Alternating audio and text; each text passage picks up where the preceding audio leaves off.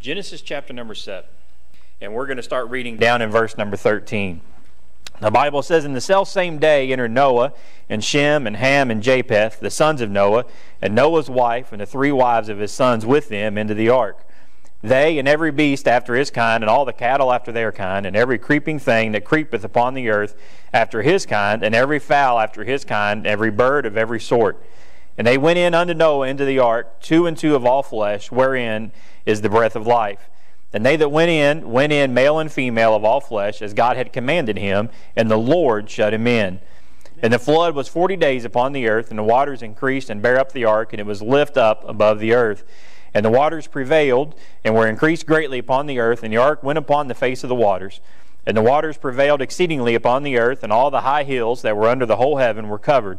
Fifteen cubits high upward did the waters prevail, and the mountains were covered, and all the flesh died that moved upon the earth, both of fowl and of cattle, and of beast, and of every creeping thing that creepeth upon the earth, and every man. All in whose nostrils was the breath of life, and of all that was in the dry land died. And every living substance was destroyed which is upon the face of the ground, both man and cattle, and the creeping things, and the fowl of the heaven, and they were destroyed from the earth. And Noah only remained alive, and they that were with him in the ark and the waters prevailed upon the earth 150 days. Our gracious Heavenly Father, Lord, we thank you again for this day. Lord, we just thank you again for this church to be able to come to this open door that we have, Lord. Lord, we thank you for those that continue to fight for our freedoms, Lord, that we have this freedom to come here and worship you this morning.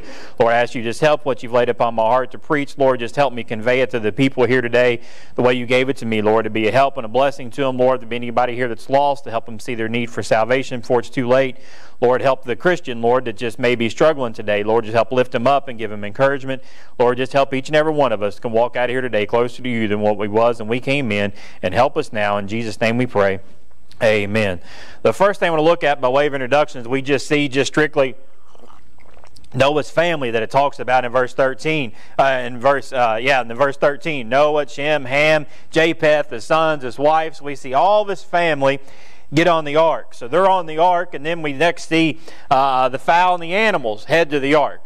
Uh, now, the, the importance of this and the, what I really want to look at is, is that fowl and animals and the families. You see all them on is we see the following that the animals did. And what I mean by that is we see in verse number 15 it says, And they went in unto Noah into the ark. Noah didn't have to go out and gather up all the animals. Noah didn't have to go out and, and beg the animals to come with him and lead them in by rope and, and catch all these animals. God sent the animals in. Noah's job was to build the ark. That was it. His job wasn't to gather up the animals. God sent the animals in. What's your job this morning? Too many times we, we spend too much time worrying about doing somebody else's job. Well, Pastor, I believe if you would do this, go tell our pastor what to preach next Sunday, and see how well that goes over for you. Go to the Sunday school teacher. Well, I believe if you would teach this, I'm sure, brother, brother Randy, if, if you and brother Ray, if you all would mow this way, yeah, I think the grass would grow better. It would do this. We all seem to want to worry about somebody else's job. Just worry about your job. That's all Noah was worried about. Noah built the ark, and he took his family and got in the ark as God had instructed him to do, and God sent the animals in. So we see God sends the animals in, and then we see in verse number 16 the front door, so to speak. And they went in and went in, male and female of all flesh, as God had commanded him, and the Lord shut him in. God shut that door. And we'll see why that's important here in a little bit. We see the floating, though, in verse number 17. It says, And the flood was forty days upon the earth, and the waters increased and bare up the ark, and it was lift up above the earth. Now, the opposite then we see is we see, in getting down into verse number 22, and, and the verses up ahead of that, as we see the falling away, so to speak. We see the ark now being raised up, the flood waters are increasing upon the earth, and the ark's coming up to flood. And then we know uh, by the accounts here given, everything else that wasn't in the ark died. You ever been to that point in your life where you just feel like you're drowning and everything around you while you see everybody else around you? Man, they just seem to have everything going good for them. Yeah, sure. They just seem to be flying high, just riding high, so to speak. They just seem to be on cloud nine, and everything in your life, it just seems like you're drowning under all the pressures of this world. Now, this sounds pretty easy. They've just trusted God. Sure. Noah and them was in the ark because they just trusted God. Amen. He just trusted this is what God's going to do. God told me to build this ark. He was going to send rain. He was going to send this upon the earth, and he just trusted God that that's what was going to happen. And he built the ark, and he got in it, and now here he sits inside that ark. Sure. Now, brother, Doug preached a few weeks ago, and you talk about having a big imagination. So do I. I have a big imagination, especially when I get to reading the Bible. I have no idea what happened when Noah was building the ark. But I can just imagine as Noah sitting there and building that ark, and however long it took, and you, you, he's sitting there building it, and you have generations upon generations, probably of people walking by making fun of him, Brother Ray. Sure. It had never rained before. What, what are you building? What are you talking about? Rain, Noah? You're crazy. And continually making fun of him. And then all of a sudden we see Noah get in, and you see all these all these animals, and what do you think the thoughts was as the people walking by us now all of a sudden all these animals are just single just getting onto the ark. What in the world's going on? You don't think this kook that we've been making fun of for so long really knows what he's talking about, do you? And all the things that had to be going through their mind, and then the door shuts up. And then I can just picture all the people standing around laughing at Noah up there, man, the, uh, these animals are going to eat you, and, and this is going to happen, and that's going to happen. Amen. And all of a sudden you hear that, you, they feel that first drop. Yeah. What was that? What do you think they did then? I have no idea. Can you imagine them then running to that door, knocking, Noah, let us in. Let us in. Now we understand what you were talking about. Now we get it. Let us in. Sure. But see, it was too late. Maxwell House has that old uh, saying you used to watch. I remember coffee commercials, good to the last drop. Well, what I want to preach on this morning is they were late with the first drop. With that first drop that fell, they were too late. They could have sat, they sat and made fun of Noah for however long. They could have laughed at him. They could have scorned him, whatever it may be. But when that drop fell, they were too late. Amen. Can I tell you this morning, one of these days, we're going to be too late. The first thing that they were too late is they were too late to understand all that was going on. In 2 Timothy chapter 3 and verse 16, the Bible tells us all scripture is given by inspiration of God and is profitable for doctrine, for reproof, for correction, and for instruction in righteousness. This Bible is written as our example. It's written for us to use it as example in our life. It's written for us to give us instructions. But too many times we sit back and take the easy way out. Well, I don't understand it. Can I say this? I'm going to get my. I, have, I had no intentions on saying this. I don't remember who I told this this morning. Uh, I just talking to Sister Mary sitting over there. So Caitlin is playing golf today. Um, she's got she qualified for an all-state event. Uh, it's a, a new two-day tournament they're doing down in Lexington. It was pretty much the best players in the state. This is better players will be there than what will be at the state tournament in three weeks, okay? And Tina asked me last night, she said, Do you want me? Uh, she goes, What do you think I should do? Should I go to church or go watch Caitlin? Said, Well, you do whatever you want to do. I said, You know, if I had a chance, I would go watch her because we're running out of times to watch her. You know, a couple years ago, it's always, there's always next year. There's always next year. And now all of a sudden, there's not next year. There's just next week, and that's it, just about.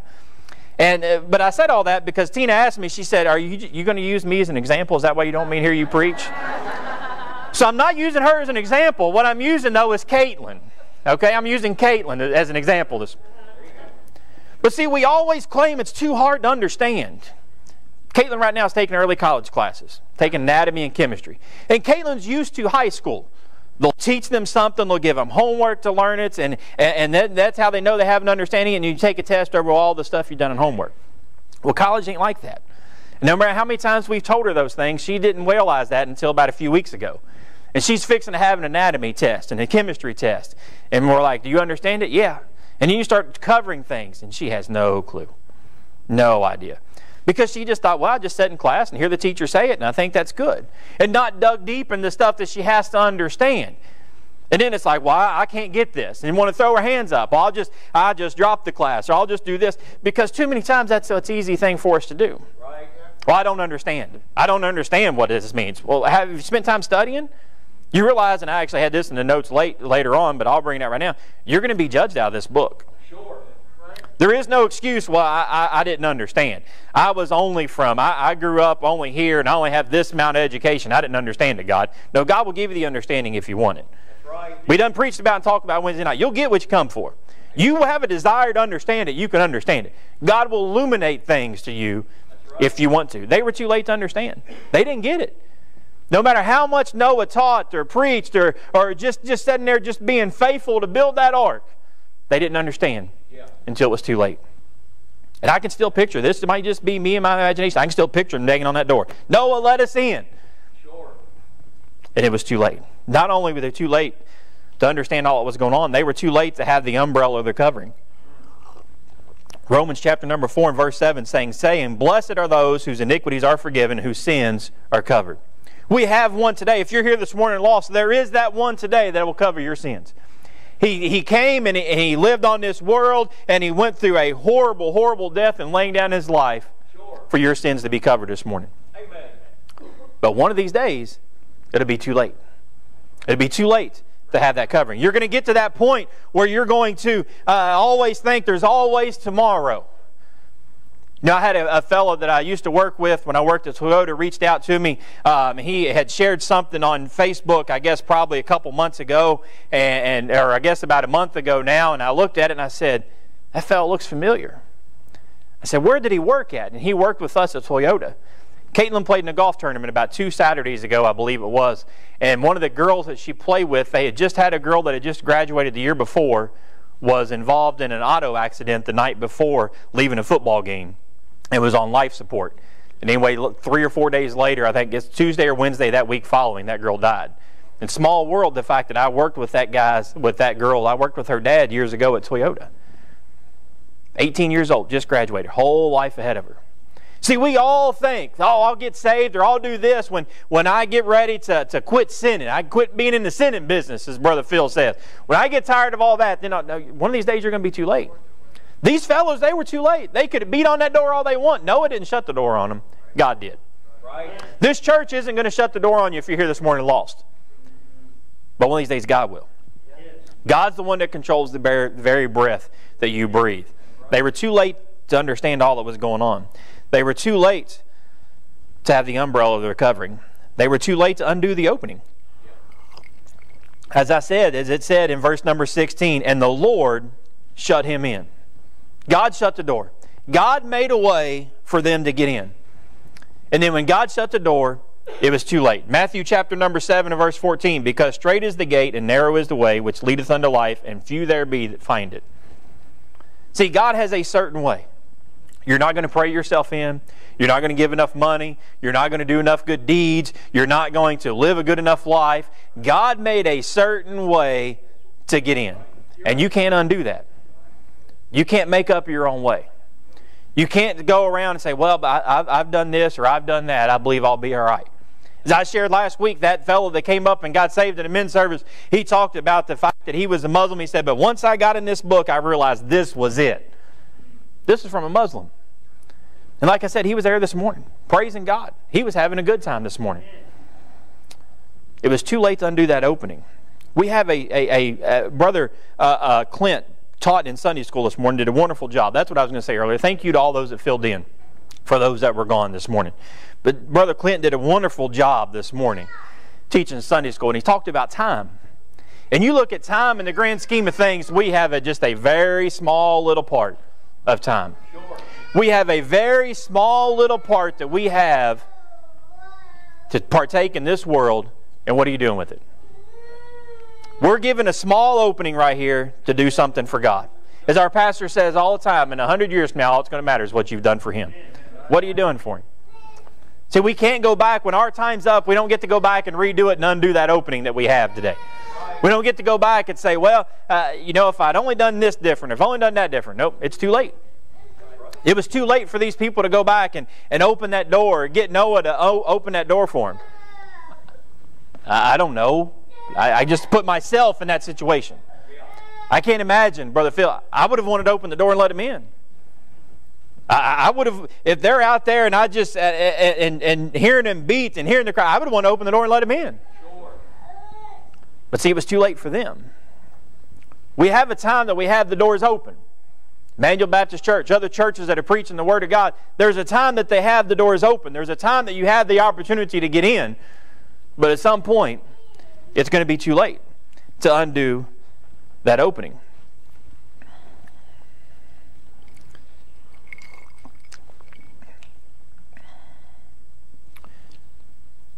One of these days, it's going to be too late to undo the fate.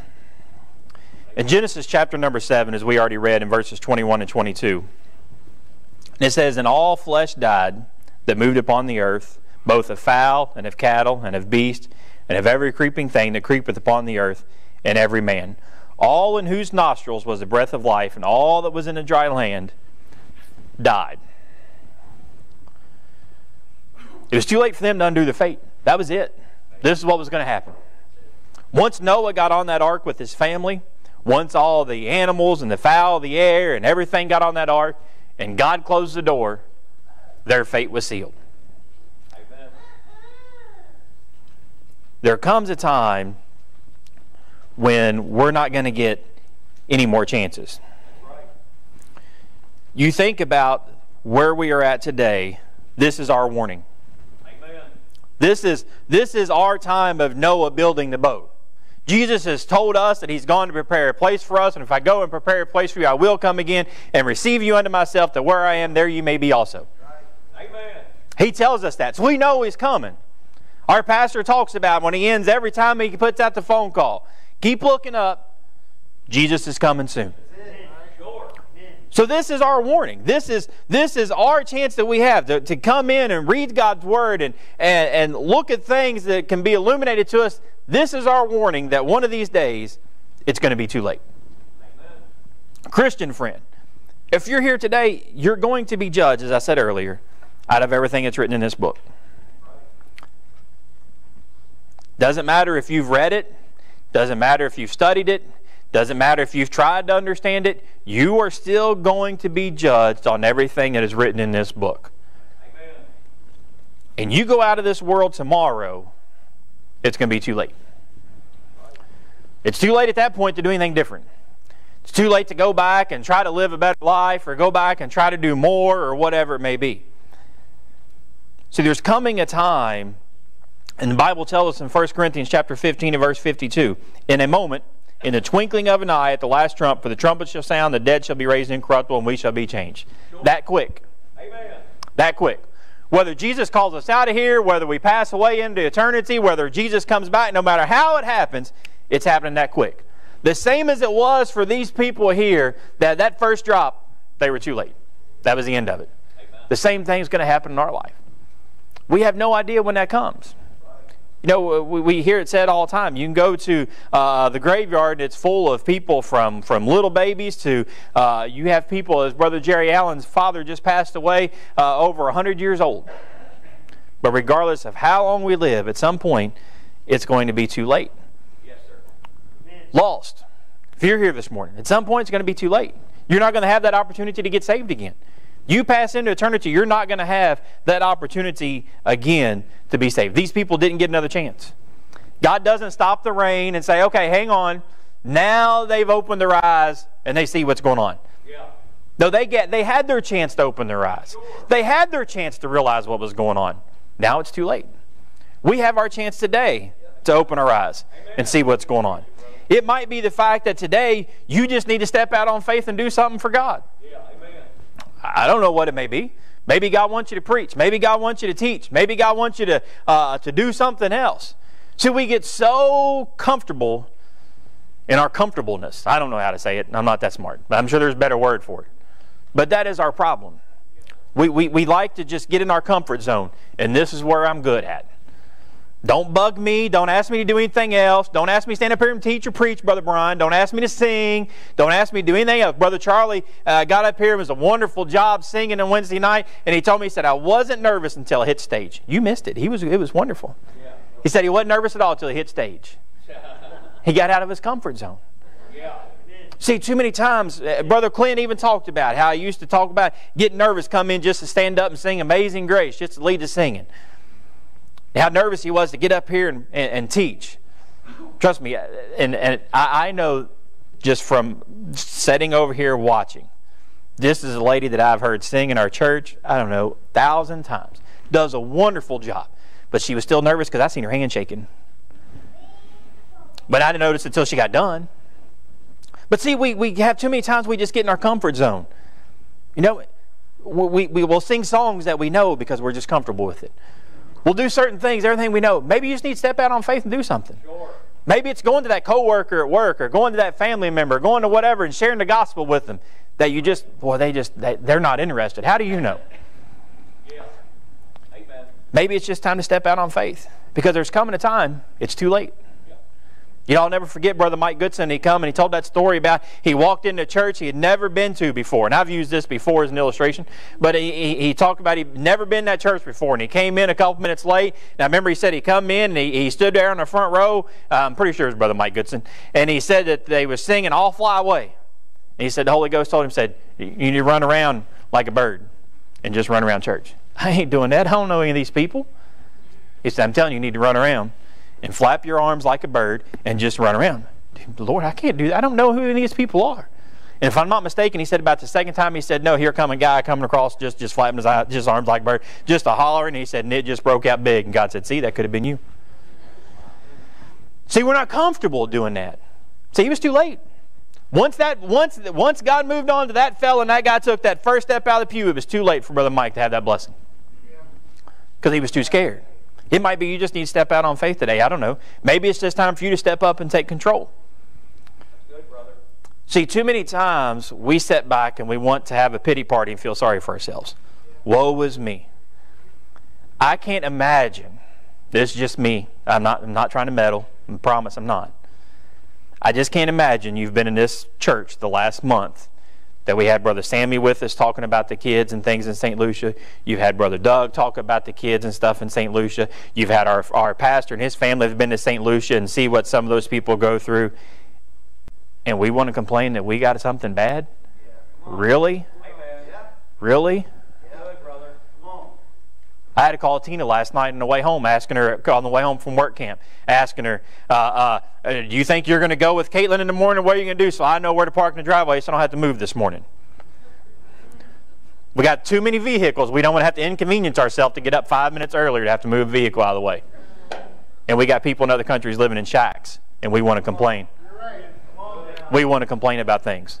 Maybe it's time for you to just step up and take control and say, "No, no, the world's not against me." God's for me, and this is what I need to do, and go on and do something for God before it's too late. Yeah. Right. Because there's coming a time it's going to be too late. Amen. The last thing, maybe it's time just to step into a new life. Everything was about to change for Noah. Think about that. God told him to get on the ark, and He's going to send rain, and it's going to rain for so many days, and every, the, the earth's going to flood, and everything's going to be wiped out. And here's what I want you to do I want you to build an ark, and I want you to take your family, and I want you to take some of the animals, and you're going to go in the boat, and you're going to wait for all this to happen. And they stepped out into a whole new world. Amen. All the people they knew, gone. Everything that they had knew before, gone. See, sometimes, just like that whole stepping out on faith, God just has something new He wants us to do. I don't know what that may be. May not be nothing for you here this morning. I have no clue. But see, Noah and them stepped out in a whole new life. Because when we don't, one of these days, it's going to be too late. And that too late isn't doesn't happen over time. See, we always think, as Brother Clint talked about this morning, we have all kinds of time. I got all the time I need. No, you don't. As I already alluded to, it is really, really starting to sink in that I have a kid going away to college in six months or whatever it may be, less less than a year now. And see, you always think back before, oh, we got all kinds of time, got all kinds of time. Amen. We got this, we got that. That we'll worry about that later. And then before you know it, it's too late. As as as, as Brother Clint and and and uh, uh, Brother Clint and Brother Clint Jr. and Brother Eric, uh, we all talk about deer hunting. This happens to me every year. My brothers will ask, "You can go put corn out? Gonna get your camera out? Yep, gonna get everything out." It is now. What's today's date? September twenty second. I've done nothing. I've done nothing. Deer season's been open for bow season's been open for three weeks. I've done nothing. See, we always think in April I got plenty of time to get to that. Got plenty of time. Got all kinds of time to do that. Got all kinds of time to do this for God. Got all time. I was sitting thinking today, I was going to make up uh, uh, uh, new things for the Hope Ministry, and, and we were going to go out, and before you know it, a whole other month and a half has passed. And what have I done? See, we always think we have so much time. I'm sure these people in Noah's day uh, seen Noah building that ark, and, and no doubt, probably some of them told their grandkids, "You ain't got to worry about it. This guy's been building this boat forever. Right. He don't know what's going on. He's lost his mind." We've been, he's been, I've been passing here for years, and he's been doing the same thing, building this ark, talking about it raining. It's never rained. We don't need an ark, it, and and no doubt, that's our mindset. Everybody keeps talking about Jesus is coming soon. I've heard about it since I was this. I was knee high to a giraffe. I've been hearing her knee high to a grasshopper. Whatever. We've been hearing about it forever. It ain't really coming. Oh yeah, it is. Sure it is. These people thought the same thing. No. How much you think they beat on that door? Good. That first drop. See, there's coming a time it's going to be too late. What are you doing today? If you're saved, what are you doing for God? Our pastor, do, do we not believe what our pastor preaches? Amen. A hundred years from now, that's all it's going to matter. What we're doing here today, it don't matter. If you're not doing it for God, sorry, I guess I should say the rest of that. See, all that matters is what we're doing for Him. It isn't about scratching somebody else's back or helping somebody else. What are you doing for God? And pers- lost person, if you're here this morning, there's coming a time it's going to be too late. Amen. And unfortunately, that time is going to be when you wake up in hell like the rich man, being in torments, plural, with an S. See, we have allowed Hollywood, that Brother Clint even talked a little bit about this morning, we've allowed Hollywood to dumb down hell so much, it's no big deal.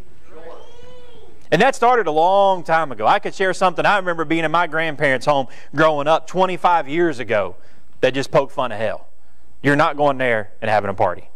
That rich man woke up in hell being in torments, plural, with an S. One of these days you'll wake up there if you're not saved, and it's going to be too late. Uh, you know, when he woke up, Abraham told goes, Look, as much as I would want to come to you, we can't. Between us, there's this great gulf fixed, and we can't get to you. It's too late. I wish we could help you. It's, but it's too late. Don't let it be too late this morning. Brother Ray, you come get his art- song of invitation. Miss Renee, you come. I'll ask you this morning, are you doing what God wants you to do? Because one of these days it's going to be too late. It was too late for those people there in Noah's day. They finally waited so long that the door was closed on them and it was too late. No matter what it may be this morning, God may have talked to you about doing something else, and one of these days that door is going to be closed and it'll be too late. Our gracious Heavenly Father, Lord, we thank you again for this day. Lord, thank you for the message you laid upon my heart. Now just speak to hearts during this invitation. Lord, in Jesus' name we pray. Amen. If you enjoyed today's broadcast, head on over to your App Store and download the IBC Florence app today, where we have our music, sermons, videos, devotions, and much more. And as always, thanks for listening.